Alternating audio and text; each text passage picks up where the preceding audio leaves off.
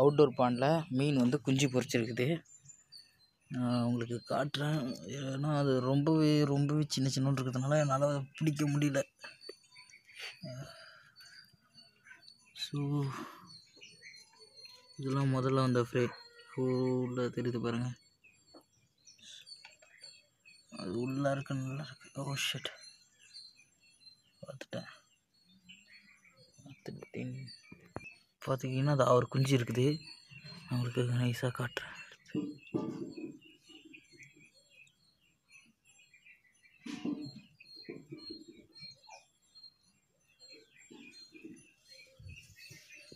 ஓ எங்கே?